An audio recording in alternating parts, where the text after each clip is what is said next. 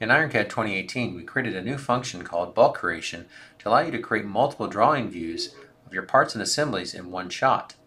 In this dialog, you would open this up, select the various parts and assemblies and the templates, and create all those in one pass. We've added new functionality in Product Update 1 to make this easier. Simply selecting down to your parts or your assemblies in your property browser, you'll see new options. For example, you can add your front view direction directly from the scene browser in this case, we'll just add our two directions, hit OK. You will see now if we select our part, that's automatically selected in the browser. So we know that that part has a definition defined for the front view.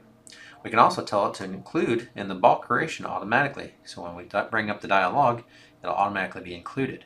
We can even select the template to be used, which it will store your previously used templates, or you can add additional ones by selecting on the Add button and going into your bulk creation folders you can select various templates that you want to use. For example, if you wanted a 20 by 20 uh, drawing, you can select it there, then hit OK.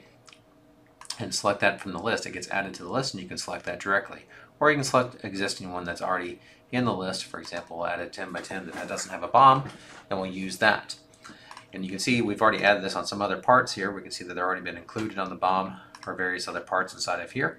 So when we go ahead and run our bulk creation, Notice that these things are automatically selected and ready to go into the bulk creation.